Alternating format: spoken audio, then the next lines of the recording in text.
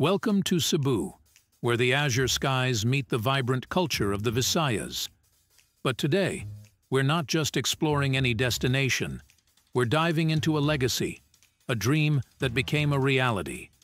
Welcome to Nu Star Resort and Casino, the latest jewel in the crown of the Gokongwei Empire. The tale begins with a visionary, John Gokongwei Jr., whose humble beginnings in Cebu shaped a titan. From a young dreamer to a business mogul, his journey came full circle with Nu Star, transforming the skyline and the fortune of his beloved hometown.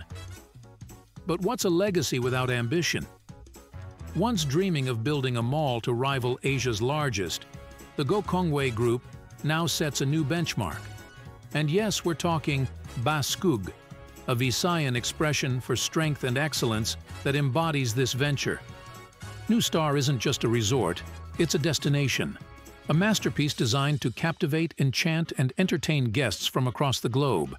It's where luxury meets adventure, all while honoring the rich heritage of Cebu. And in a world where giants like Enrique Razon and the Okada Group loom large, Nu Star shines bright, a testament to the daring spirit of the Gokongwei Group.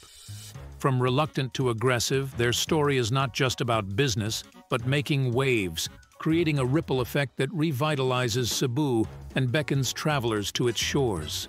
So, whether you're seeking adventure, luxury, or a piece of history, Nu Star Resort and Casino is your gateway to an unparalleled experience.